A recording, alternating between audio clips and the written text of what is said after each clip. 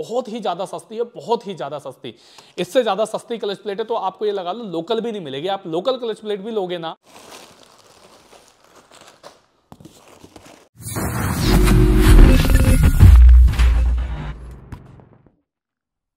Hello दोस्तों, मेरा नाम है अजय सागर और आप देख रहे हैं आपका अपना चैनल ए आरबी अनबॉक्सिंग तो भाई एक बार फिर से एक नई वीडियो में स्वागत है आप लोगों का।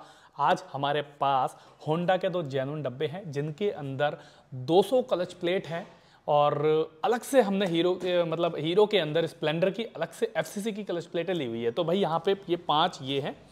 पाँच ये हैं। ये दस क्लच प्लेट हमारे पास एफसीसी की है, जो हमें भाई पार्सल भेजनी है। एक हमारे सब्सक्राइबर हैं, जिन्हें एफसीसी की क्लच प्लेट चाहिए थी, और जहाँ से वो है, वहाँ पे उन्हें नहीं मिली। बेसिकली महाराष्ट्र भेजनी है हमें तो वहाँ पे उन्हें महँगी मिल रही होगी या फिर मिली नहीं रही होगी।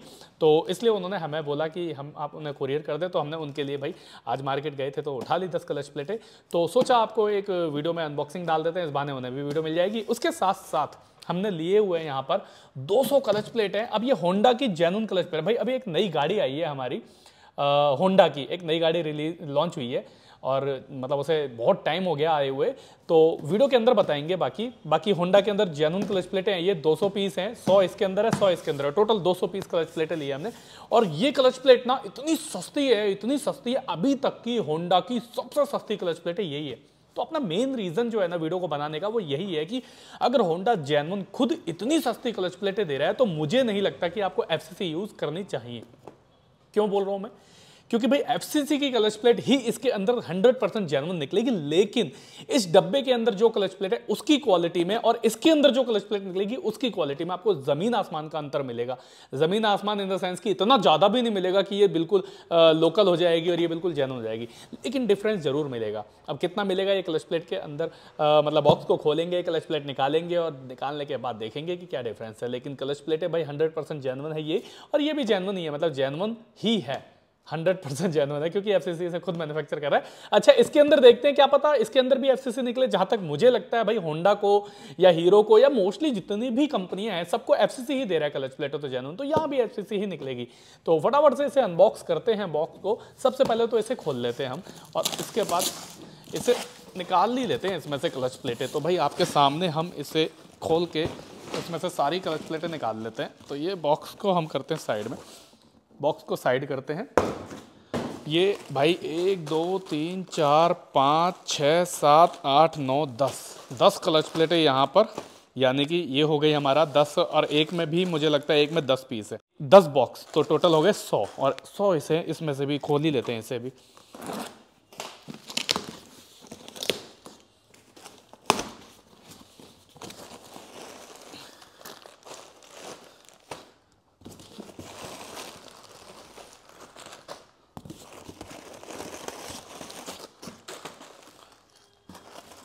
ये आ गई हमारे पास सौ क्लच प्लेटें। इस पेटी को भी साइड करते हैं। पेटी का काम खत्म। तो हमने सारी क्लच प्लेटें बाहर निकाल ली है। अब हम ना करीब दो पैकेट लेंगे। दो या तीन पैकेट में से क्लच प्लेट चेक करेंगे और ये भी देखेंगे कि क्या किसी पैकेट के अंदर एफसीसी के अलावा कोई और निकलेगी क्या। अब आपके सामने भाई होंडा के जेनुन बॉक्स खोले हमने। ये एक पन्नी के अंदर सारी पन्नियाँ जो है ना, वो स्टेपलर कर रखी है। मुझे लगता है कि एक पीस को पैक किया है। देखो, सब देखो, आपके सामने सिल्ड पैक पेटी खोली है और ये इस तरीके से स्टेपलर हो रखी है। ये भी है। इस वाली को भी देखो, स्टेपलर किया हुआ है। ये खोल के स्टेपलर किया हुआ सारी पन्नियाँ जो है ना, वो ये एक पन्नी है, उसके अंदर खोल के उसे उसमें दस पीस डाली है और फिर पैक किया हुआ है। मतलब सिल्ड नहीं है ये कंपनी से। कंपनी ने खोल के इसे पैक करके एक को दस का पीस बना दिया है। गिन लेते हैं। एक, दो, तीन, चार, पाँच छः सात, आठ, नौ, दस। है दस ही भाई। कभी कभी होंडा से भी गलती हो जाती है। अभी हमने एक रील डाली थी इंस्टाग्राम पे, जिसके अंदर किक की स्प्रिंग थी। होंडा लीवो की, लेकिन उसके अंदर पैकेट में निकल रही थी साइन की स्प्रिंग तो ऐसा नहीं है भाई कंपनी गलती नहीं करती क्या पता कंपनी में पैक किया हुआ है अलग से, क्या पता नौ पैक कर दे, दस पैक कर दे, क्या पता ग्यारह भी हो जाए। कभी ग्यारह हुई नहीं है वैसे, दस ही नहीं, नौ निकल जाएगी, लेकिन बजा ले ग्यारह निकल जाए। तो इस एक बॉक्स को खाली कर लेते हैं और इसमें से एक ही निकालते हैं बस, एक इसमें से निकाल लेते हैं और एक इस वाले बॉक्स में निकाल लेते हैं दो। और एक कोई और बॉक्स चुन लेते हैं, ऐसे रैंडमली ये वाला, ये हमने ये तीन क्लच प्लेटें निकाल ली।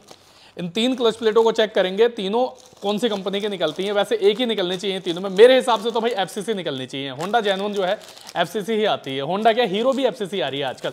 आप लोगों के हिसाब से कौन सी क्लच प्लेट निकल सकती है इसके अंदर, जो जैनवन अब भाई होंडा में, ये पैकिंग में होंडा की पैकिंग में है, लेकिन हंड्रेड क्या होंडा की निकलेगी? अगर आप लोग इस चीज़ से सहमत हो तो कमेंट करके ज़रूर बताना। और आपके हिसाब से कौन सी निकल सकती है, ये भी कॉमेंट करना। हम देखते हैं किसकी कॉमेंट किस हद तक सही हो सकती है। भाई आप लोगों को कितना आप लोग सीख रहे हो स्पेयर पार्ट के बारे में, जरा पता लगे हमें भी। तो मेरे हिसाब से एफ़ निकलनी चाहिए, आपके हिसाब से देखते हैं कौन सी निकलती है। तो इन तीनों को लेते हैं। उसके अलावा एक हीरो की एफ़ के अंदर जो क्लच प्लेट है, उसे भी ले लेते हैं। तो यहाँ पर इसे भी खोल लेते हैं।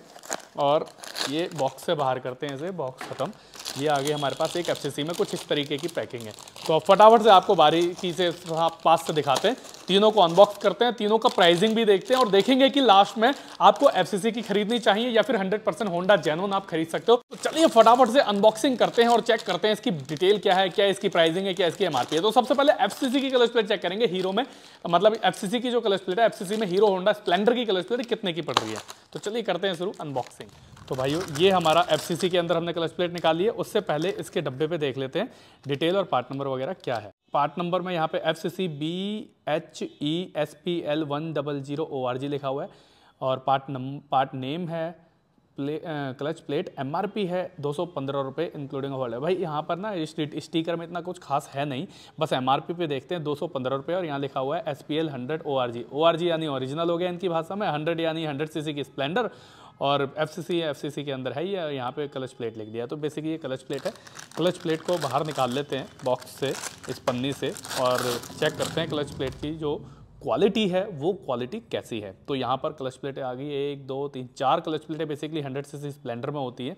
अब इस क्लच प्लेट में से एक क्लच प्लेट को ले लेते हैं और बारीकी से देखते हैं डिटेल में। तो यहाँ पर भाई देखेंगे आप, कुछ कोडिंग है, इधर भी इधर भी इधर भी और यहाँ पर भी यहाँ पे एफ़ लिखा हुआ है प्रॉपर पूरा एफसीसी तरीके से लिखा हुआ है एफसीसी उसके अलावा यहाँ पर 107 कुछ कोडिंग है, यहाँ पे M18 कोई अलग कोडिंग दी हुई है, बस इतना खास कुछ है नहीं, इसके लेदर को देखेंगे। तो लेदर की जो क्वालिटी है वो भी नॉर्मल ही है, इतना ज़्यादा स्पेशल नहीं है। हाँ ये है कि जेनुन लेदर जो है वो बिल्कुल इससे मिलता जुलता है। अब कितना मिलता जुलता है ये हम डायरेक्ट एफसीसी नहीं होंडा को खोलते हैं अब हम। आपको सबसे पहले तो बताते हैं कि ये होंडा की जो क्लच प्लेट है, इसका प्राइस आप देख के हैरान हो जाएँगे भाई। अभी तक का मेरी नज़र में सबसे सस्ता क्लच प्लेट यही है। देख लीजिए, इसका पार्ट नंबर है triple two zero one K three C D one one quantity है एक पीस प्रोडक्ट है डिस्क क्लच फ्रिक्शन और यहाँ पर इसकी मैन्युफैक्चरिंग है अक्टूबर 2023 एमआरपी है fifty eight rupees including of all taxes अट्ठावन रुपये है इसका प्राइस और एक गाड़ी में ना चार पीस लगते हैं। एक, दो, तीन और एक और ले लेंगे। हमारे पास वैसे भी बहुत है। चार पीस लगेंगे। चार पीस के प्राइस की बात करें तो दो सौ चार पीस का प्राइस है और यहाँ पर इसका दो सौ मतलब पंद्रह रुपये का ही फ़र्क है। अगर आप एफसीसी में लेते हो तो अच्छा एफसीसी की कलर प्लेट से बेटर तो फिर मैं आपको बोलूँगा कि आप इस कलर प्लेट को ले सकते हो क्योंकि इसका प्राइस कम है।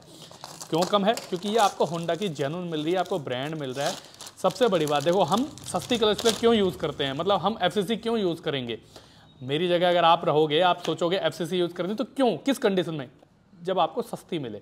जब आपको जेनवन ही सस्ती मिल रही है तो आप एफसीसी यूज़ करोगे ही क्यों? सबसे बड़ा ऑप्शन तो यही है ना, सबसे बड़ी बात यही आ जाती है। अब प्लेट की क्वालिटी चेक करेंगे। मैंने जैसा कि आपको बोला था कि क्वालिटी के अंदर आपको कहीं ना कहीं 19-20 का डिफरेंस मिलेगा ही मिलेगा। प्लेट को बाहर निकाल लेते हैं। सबसे पहले तो आते हैं ये जेनुन क्लच प्लेट आ गई हमारे पास। होंडा की 100 परसेंट जेनुन है। यहाँ पे देखो लिखा भी हुआ है। अच्छा इस क्लच प्लेट के आपको ऊपर ना आपको देखो एफसीसी प्रॉपर लिखा होगा एफसीसी लेकिन यहाँ पर सिर्फ़ आपको एफसीआई लिखा हुआ मिलेगा। होंडा के अंदर जितनी भी जेनुन निकलते हैं, चाहे वो हीरो की हो मतलब कंपनी जेनुन जितनी भी क्लच प्लेट होती है ना हंड्रेड परसेंट वही पैक ओ पैकिंग में, उनके ऊपर आपको एफसीसी की जगह एफसीआई लिखा हुआ मिलेगा।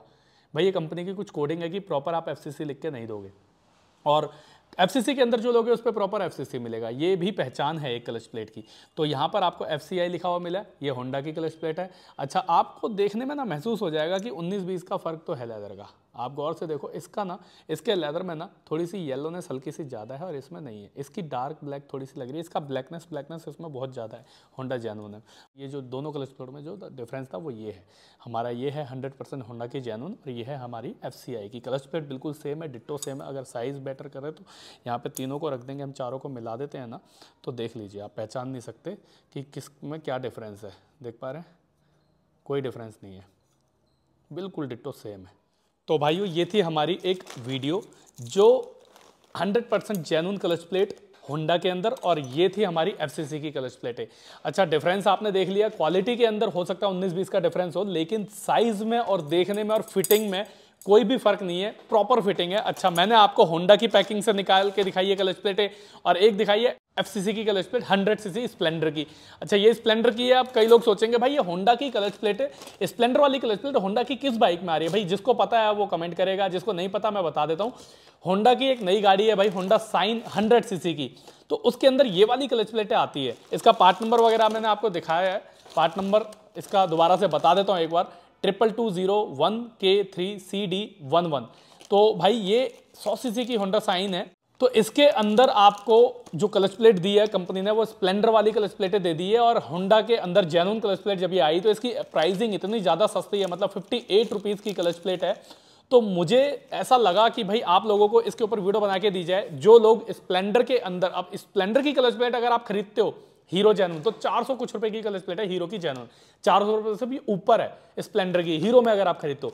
लेकिन अगर आप होंडा में वही कलर प्लेट खरीदते हो तो आपको एक तो क्वालिटी, भाई जैपनीज टेक्नोलॉजी है, क्वालिटी तो भूल ही जाओ कि क्वालिटी में कोई कंप्रोमाइज होगा, अगर आप होंडा में लेते हो।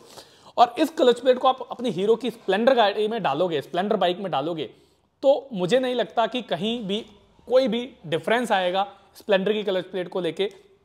कि आप स्प्लेंडर की डालो और होंडा की डालो तो आपको लगेगा कि कोई पिकअप में कोई फ़र्क आ जाएगा क्वालिटी में कोई फ़र्क है ऐसा कुछ नहीं। उल्टा एक परसेंट हो सकता है इस कलच प्लेट का। ये जो होंडा की जेनुन कलच प्लेट है, इससे हो सकता है कि एक परसेंट रिज़ल्ट अच्छा आए बेटर आए, ना कि कम आएगा। अच्छा इसे अगर आप डाल रहे हो अभी तक, इसे डाल रहे हो तो मुझे लगता है कि आपको ये छोड़कर ना ये डालनी चाहिए, क्योंकि इसी प्राइस में आपको एफसीसी के प्राइस में आपको 100 परसेंट जेनवन टेक्नोलॉजी मिल रही है। होंडा की टेक्नोलॉजी जापान की टेक्नोलॉजी है। और सस्ती भी है बहुत। सबसे ज़्यादा जो मेन रीज़न है इस वीडियो को बनाने का, वो ये है कि इतनी सस्ती कलच प्लेट मैंने आज तक किसी भी बाइक की नहीं देखी, जितनी सस्ती कलच प्लेट ये है। फिफ्टी एट रुपीज़ की एक कलच प्लेट अट्ठावन रुपए की। अगर चार पीस लेते हो तो आपको मतलब अगर दो सौ चालीस रुपये में भी अगर ये चार कलच प्लेटें पड़ रही है तो बहुत ज़्यादा मतलब दो सौ बत्तीस रुपये की कलच प्लेट पड़ रही है चारों आपको।